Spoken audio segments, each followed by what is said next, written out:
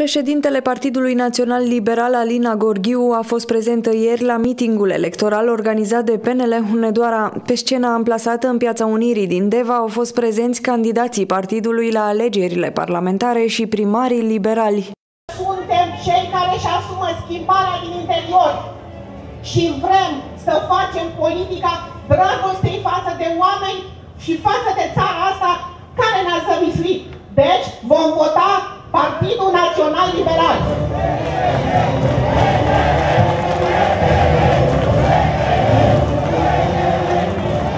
România are nevoie de valorile liberale, cetățean, familie, credință, țară. Și dacă toți vom înțelege acest lucru, atunci Hunedoara va merge înainte.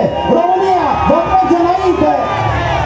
Soluția ca țara asta, ca județul ăsta, ca Valea Jiului să meargă înainte, este Partidul Național Liberal.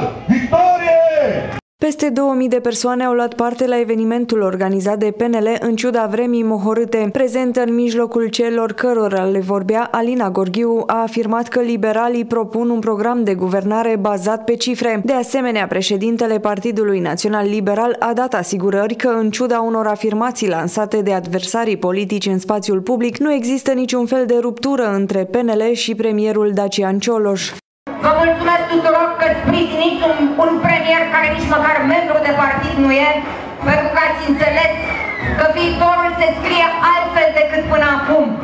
Pentru că ați înțeles că schimbarea începe cu noi înșine. Nimeni altcineva nu va produce schimbarea dacă Partidul Național Liberal nu o va face. Vreau un județ